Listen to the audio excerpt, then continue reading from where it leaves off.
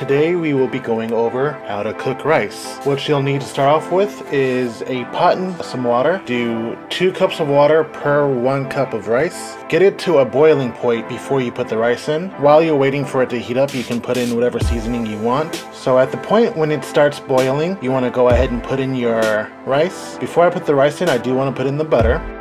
Once we do that, we go ahead and stir it in, get all the grains of rice that we can out of the measuring cup, and then from there we'll go ahead and stir it a little bit more, and then we cover it and put the setting of the fire on low, and while it's on low and we have it covered, we let it sit there for about 30 minutes. 30 minutes later. Now you can put more butter on it if you want, or you can add additional things to it for better flavors, or to mix it up, you can add anything you want to this. Whatever you want to go with the rice here, you can go ahead and add here afterwards.